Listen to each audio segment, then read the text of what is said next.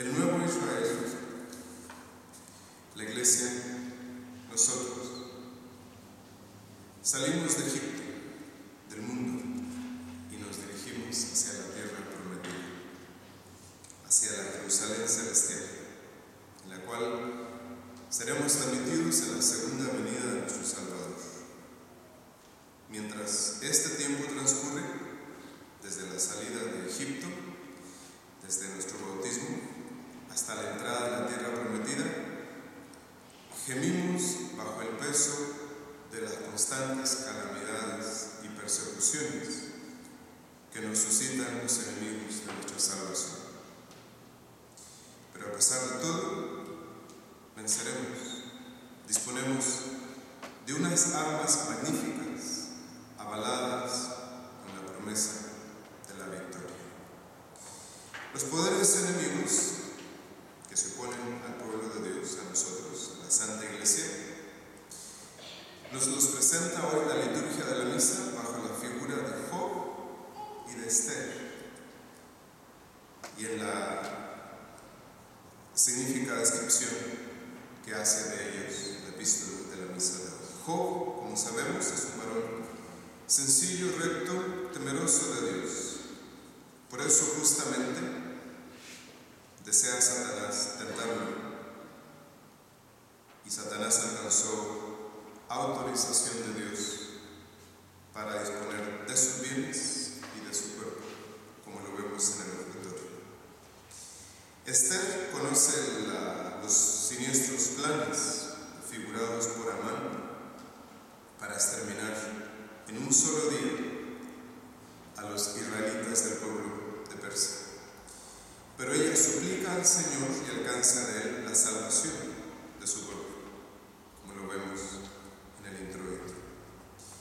En Job y en el pueblo de Israel condenado al exterminio por Amán, vemos con la sagrada liturgia de nuestra Santa Iglesia. Nos vemos a nosotros mismos cercados y oprimidos de enemigos por todas partes.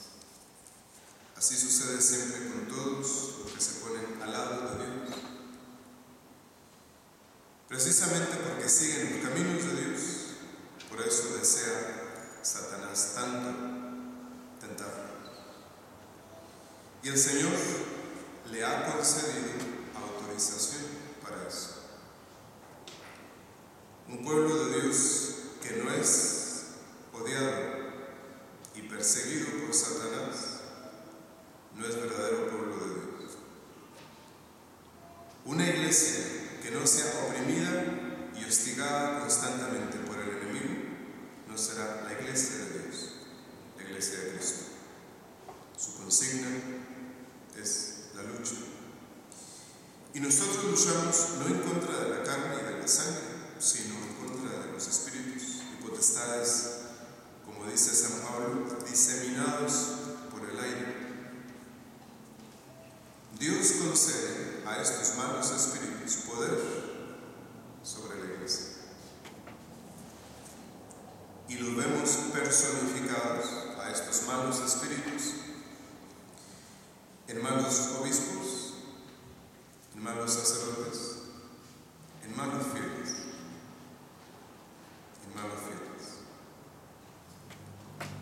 para que los tienten y persigan a los buenos y para que de este modo sean probados en la lucha y en la persecución.